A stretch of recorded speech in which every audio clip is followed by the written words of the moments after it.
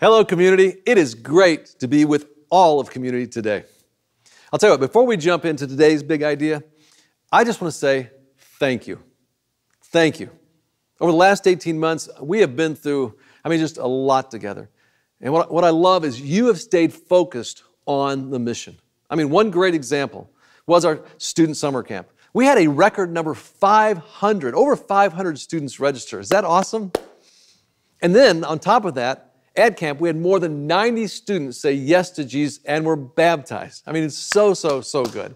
And even since then, we're seeing more and more students and adults be baptized. So I just want to say thank you. Thank you for your perseverance. And let's continue to stay focused on the mission of helping people find their way back to God. All right. It was a while back that they ran this just great news story about what I would call maybe the most unusual wedding banquet ever. And the story went something like this A young lady, accompanied by her fiance, went to the Hyatt Hotel to finalize everything they wanted for their wedding banquet. And the two of them, they poured over menu choices, they selected china and silver, they picked out the just right flower arrangements, and both of them had very expensive taste, and the final bill totaled in the tens of thousands of dollars. Well, after leaving a check for half that amount as a down payment, the couple's next task was to pick out their wedding announcements. Well, the day the announcements were supposed to hit the mailbox, the groom got cold feet. And he just burst out and he says, I'm just not sure. And then he added, You know, this is a big commitment. Maybe we should think about this a little longer. And she was furious. She threw the invites away, took off for the Hyatt. She was going to cancel the banquet. She gets there. The event manager couldn't have been more understanding. In fact, she even said, Hey, honey, the same thing happened to me. And she told her own story of a broken engagement. But then she had bad news about the refund. She said, The contract, it's binding. You're only entitled to 10% back. So you really got two options. One is you can forfeit the rest of your down payment, or two, you can go ahead with the banquet. I'm sorry. I, mean, I really am. As she considered her options, she couldn't stand the idea of on her wedding day, that banquet being wasted on empty seats. It seemed kind of crazy, but the more the jilted bride thought about it, the more she liked the idea of just going ahead with the party. Now, not a wedding banquet, but some kind of a big, fun blowout. And then she got an idea. Ten years before, this same woman had been living in a homeless shelter. She got back on her feet she found a good job, had set aside even a sizable nest egg. Well, she'd already spent a ton on this banquet. And so she got this wild idea of using this opportunity to treat the down and outs in her city to a night on the town. And so, it was on a summer night in June at the Hyatt Hotel that she hosted a party like that city had never seen before. The hostess, she made one change. She changed the menu to feature boneless chicken. I love this. She said, It's in honor of the groom. then she sent out invitations to rescue missions, homeless shelters. And that warm summer night, every seat was filled with people who weren't privileged with fine dining. And on that night, though, they dined on chicken cordon bleu. You know, Hyatt waiters in tuxedos served hors d'oeuvres. And people without homes got a night off from the hard life of the sidewalks and instead, what they did is they sipped champagne, they ate chocolate wedding cake, and they danced to big band melodies late into the night. I love that story. Now, I want you to do this. I want you to imagine that scene, okay? Place it in your mind and remember it later when I share a very specific story that Jesus told us. Now, that news story, that news story kind of got me thinking. And here's what it got me thinking there's something about important celebrations that make empty seats just unacceptable. Imagine this. Just try to imagine this. Imagine the Bears, all right? We're all fired up about Justin Fields, our new quarterback, right? Rookie. Imagine the Bears somehow make it to the Super Bowl and they're playing and there are empty seats. It's unimaginable. Or imagine the White Sox or the Cubs playing in the World Series and there are lots of empty seats. It would never happen. I mean, just and fundamentally, nobody wants to throw a party or host a banquet in a room full of empty chairs.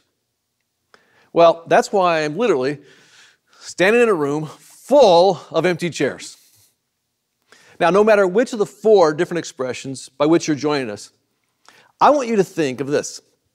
Think of an empty seat as an opportunity. Every seat is an opportunity. Now, wherever you're joining us from, I want you to look around. Go ahead and just take a look around, wherever you're joining us from, and find an empty seat. Find an empty seat.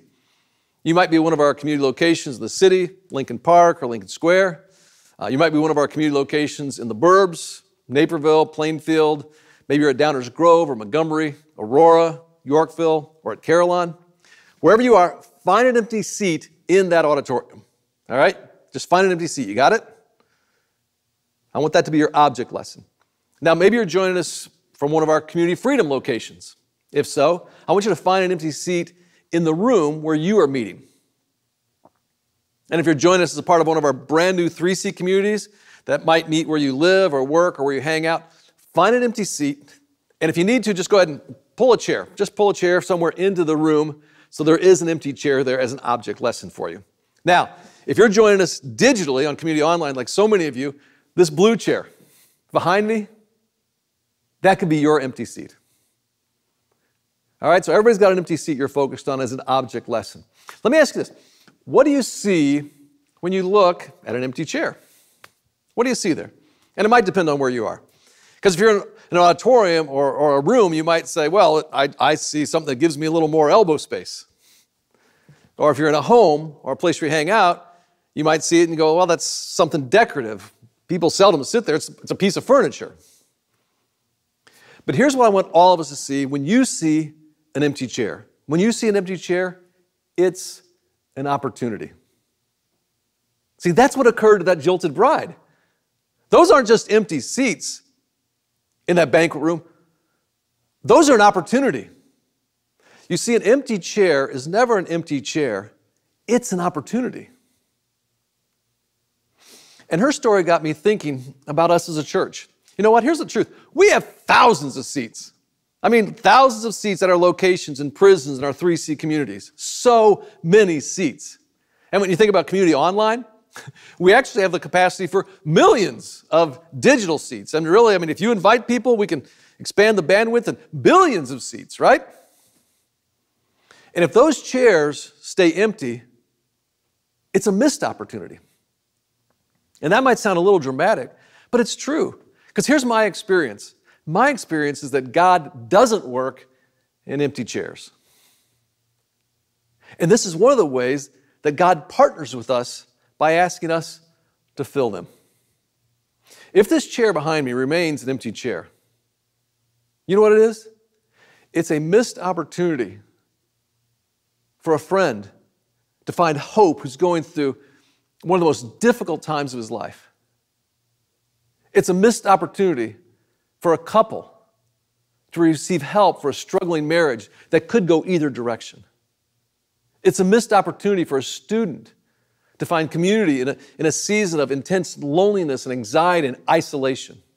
See, for every one of those chairs that sits empty, there's someone not finding their way back to God. An empty chair is never just an empty chair, because if it remains empty, it's a missed opportunity. But the opposite is also true. Did you know this? Did you know our prayer team, I love this, our prayer team prays over every chair in all of our locations every week, touches every one of them, praying for what's going to happen there. And as you know, every week our online team, they gather before every service and they pray for every person who will log in, who will take up a digital seat. Why do we do that? Because when a person sits in that chair, we know, some of us have experienced it, amazing things can happen. Because when a person sits in this chair, we actually partner with God for an opportunity to change the world one life at a time. Now, what I want to do is I want to make this as practical as I possibly can for all of you. At all of our community locations, when you walked in today, you actually received a, a card uh, that's like this that says, Who are my five? Looks just like this. Go ahead and grab this, and if you want, uh, along with a pen. We'll be talking about this later on. Others of you, uh, if you prefer, or if you prefer, you can actually get this card at communitychristian.info. Communitychristian.info, you can get it digitally. Or I'll tell you what, if you want, you can just grab your phone and just open up, you know, to notes or go old school, pen and paper, either way. But here, here's the big, the big idea. Here's what I want. I want all of us to ask the question, who are the five? Who are the five people that I can invite to join me next Sunday? And we're going to get to that in a moment. All right, now I want to bridge that story. Remember, I told you to think about that new story? Because Jesus told a story, and, and Jesus told a story that's often called the parable of the great banquet.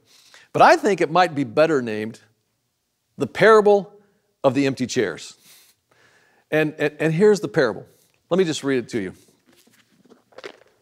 A certain man was preparing a great banquet and invited many guests. At the time of the banquet, he sent his servants to tell those who had been invited, Come, for everything is now ready. But they all alike began to make excuses. The first said, I have just bought a field, and I must go and see it. Please excuse me. Another said, I've bought five yoke of oxen, and I'm on my way to try them out. Please excuse me. And still another said, I just got married, so I can't come. The servant came back and reported this to his master. Then the owner of the house became angry and ordered servants, well, in that case, go out quickly into the streets and the alleys of the town and, and bring in the poor, the crippled, the blind, and the lame. Sir, the servant said, what you ordered has been done, but there's still room. Then the master told his servant, Go out on the roads and the country lanes and compel them to come in so that my house will be full. See, see what's happening here is, is Jesus is comparing the kingdom of God to this great banquet. And God, now God, He's the host. And He's gone to great lengths to prepare something absolutely fabulous for people to enjoy. The decorations are going to be breathtaking, the food will be exquisite, the best wines will be served. People are going to get to connect with, with each other. It's going to be this joyful celebration. I mean, it's going to be exceptional and extravagant and just spectacular in every way. But as the RSVPs come back, it's bad news for the host. People are busy, they're distracted, they have other things to do, and there are empty seats. So the host sends the servants out two more times to compel people to come in. Why? Why is the host so insistent that the seats are filled? Because the host knows that a party is not really a party unless there are people at it. Because it's not really about the food. It's not really about the decorations. It's, it's not about the wine. It's all about people. Here's something interesting. Um, do you know where Jesus was when he told that story, told that parable? I didn't know it until this week. I started doing a little homework. He was actually at a party when he told this story. It was a party being hosted by a religious leader, a religious leader, a Pharisee. And this party was very exclusive. The only people who were invited to this party were the religious elite. And it was there, and I believe on purpose, that Jesus decides to tell the story of a different kind of party, where it's not just the elite, but instead all people, everyday people, everybody gets invited. Because Jesus' heart, it beats for all people. His kingdom is not just open to some people, God opens his doors to all people. And for God, the host, it's unconceivable to have this extravagant banquet without filling every seat. So he says, open it up to everyone. Make, make sure those who others deem unimportant, make sure they get invited. Make, make sure those who are hungry that they get to come to the table. Make sure those who are forgotten that they're welcomed in. Make sure that loner at the coffee shop gets an invitation. Make sure that annoying person at work that they get one too. And re- reach out to that, that family that's new to the neighborhood. This is a place at the banquet for everyone, all people. In other words, God says, no, fill the seats. Don't waste the banquet. And I think what Jesus is doing, and please take this in, he's comparing his church to this great party. And every weekend we try to do that. God uses us to prepare a, a banquet community, a, a banquet of God's word, teaching, a banquet of God's music and, and worship, a banquet designed for our kids and another for our students. A banquet that really does, it requires hundreds of hours of creativity and planning, rehearsal, and prayer. And, and it's a banquet. When, when you show up, you actually get to introduce, you get introduced to the host who then offers you hope and joy and this abundant life. And here's what's awesome. What's awesome is every weekend, hundreds, not, not, more than hundreds, thousands, thousands of people show up for this banquet. But every week, there are also empty seats. And God, as the host, can't bear the thought of his banquet being wasted. Because empty seats that stay empty, that's a missed opportunity. And so, what does he do? Every week, he sends us back to work. He sends us back to our schools. He, he'll send us back to our neighborhoods to compel people to join us at the banquet. And it's not a banquet for a religious elite, it's for all people, right? Young and old, rich, poor, black, white, every shade in between, Republican, Democrat, Sox fans, Cubs fans, Bears fans. I'm still thinking about the Packer fans. but it is, okay, for the spiritually strong as well as, as well as the spiritually doubting. It's, it's for the ones who've been healed and the ones that are still sick. It's for the ones who are loved by all and the one who feels marginalized every moment of every day. All right, here's what I want you to do. Wherever you're joining me from, take a look at that seat again. All right, take a look at that seat again. Hear me on this. I want you to take this personal. I think God wants you to take this personal and feel it deep inside you. There's, there's, there's this, oh no, someone's missing out on the banquet. And I'll tell you what, I think when we get what's at stake here, what's at stake in this life, what's at stake in the next life, it's then we become obsessed with, man, I, I got to get people to this banquet. Let me ask you this, okay? Reflect on your own experience. How many have ever had the experience of sitting in a celebration service at church, and when it's done, you have this nagging sense like, oh man, I wish so and so would have been here with me. You ever had that? Because then maybe you're thinking, you know, it could have so helped them come to grips with how to handle this addiction. That might have been the talk, that might have been the experience that would have saved their marriage. That, that was exactly the hope they needed. That, might, that might have been a, the, the, the time where, and you know the name of that person would have said yes to Jesus and could have changed all of eternity. I'll tell you what, if you've been around community for a while, I think all of us, we've had that experience. That empty chair, okay, that empty chair is an opportunity for someone to taste the goodness of God. All right, two things just come glaring out at me about this parable that I hope challenges, it challenges me and it will challenge you. Okay, two things. First, okay, we got to fill an empty seat. We have to take our own seat at the banquet. I mean, we live in a world that provides countless reasons to do something other than be at a celebration service on Sunday. And many of the times, I think we find ourselves making excuses just like the people in the parable. And even though there are multiple things pulling in our lives, we have to make an intentional decision of this is a priority that I will take a seat. And here's the thing we've made some adjustments in the last year as a hybrid church now. We're all about making church accessible to you. You can either show up in person or you can show up online. Either one. But here's the deal God won't do much with an empty seat. But each time we, okay, take a seat, here's what you do you open yourselves up to the wonderful things that God can do and wants to do in your life. That's the first thing. All right, here's, here's the second big takeaway. Here's the second big takeaway. God is sending us out to invite others in. And I'll tell you what, you read the Bible, he is relentless about this. Just go back and look at that story. He is relentless about this. He wants every seat filled. And I, I love what theologian N.T. Wright says about Jesus' story. Here's, here's what he says, his commentary. He says, It isn't enough to say that we ourselves are the people dragged in from the country lanes to our surprise to enjoy God's party. That may be true, but party guests are then expected to become party hosts in their turn. The truth is that there are too many Christ followers today that believe they're only guests at the banquet. But the truth is, if you've been to the banquet, now you're a host. Here, here's what I want. Hopefully, to motivate you, and it did me. I want you to hear a story that reminds me of why, why I want to be a host, and why empty seats are opportunities. It was the invitation by his mom to take a seat with her to watch community online that changed Joey's life.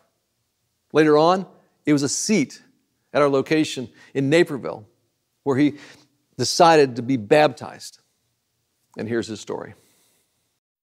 My name is Joey Ossie. I am 37 years old. Been coming to community now for just under a year, 100% thanks to my mom. And this place just feels like home. About 2007, I blew out my knee and I was introduced to prescription pain medication for the first time. And it completely overtook my life. It made me forget who I was. It crushed me. My wonderful wife had given me a lot of chances to try to figure this thing out, and I kept stumbling. So shortly after Thanksgiving last year, she asked me to leave the house. So I moved, moved in with my parents. My mom brought me with her to community. We would do church in my in my parents' living room.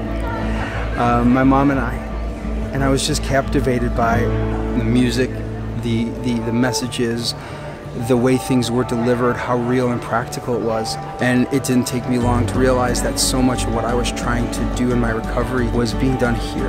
And, and it just, the two meshed really well. Hillsong United has a song called Wonder. And there's a lyric in that second verse that just spoke to me.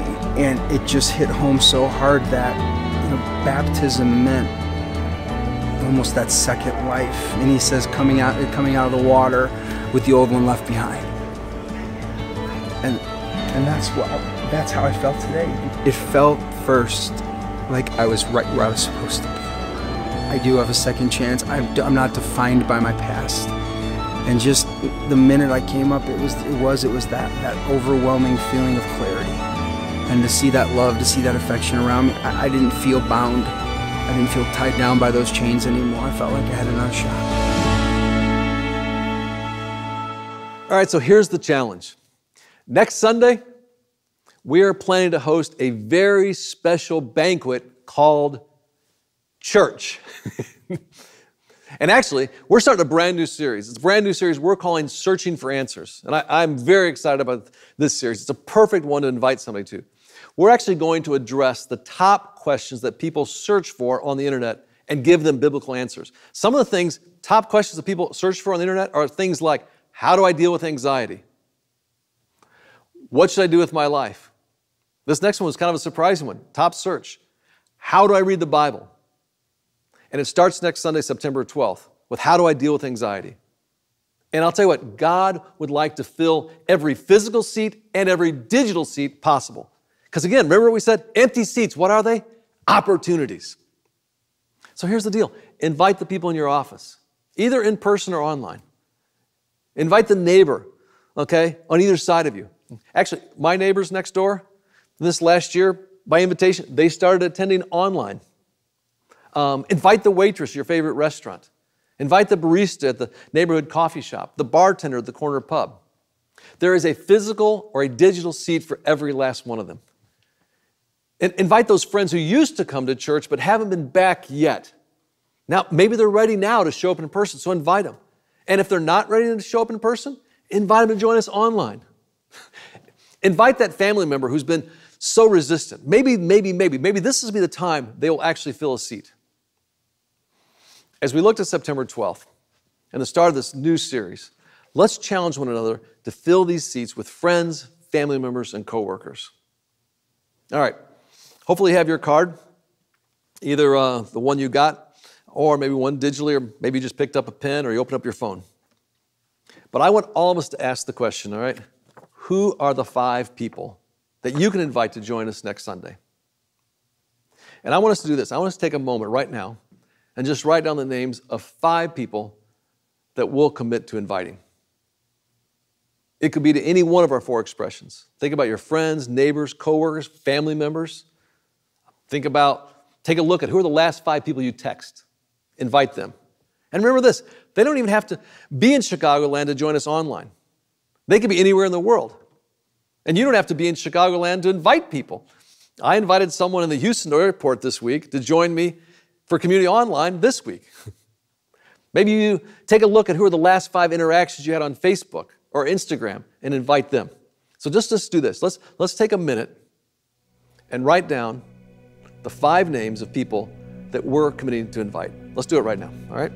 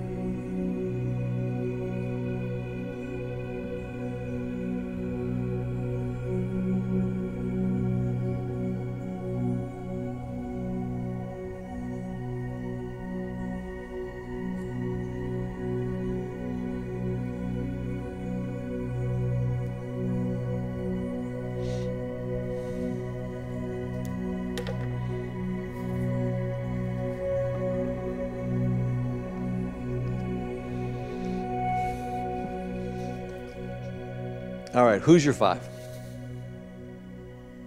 Now, please hear this. We are not saying that sitting in this chair is the only way that someone's going to find their way back to God. No. God, I've seen God work in so many different ways. But I'll tell you what, it is a way. And it's a way that's happened for a lot of us. And it's a good way, it's an important way. So let's not miss the opportunity. Let's not let that chair sit empty. I want you to just imagine for a moment, okay?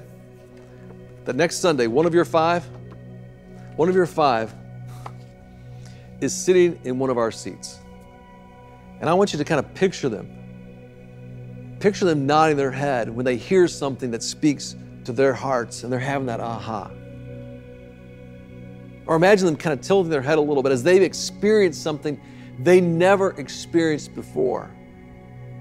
And maybe for some of you, it begins to bring a, some emotion. Or think of them actually beginning to feel, they can actually feel God's trans, transformational love kind of take hold of their life. Imagine that.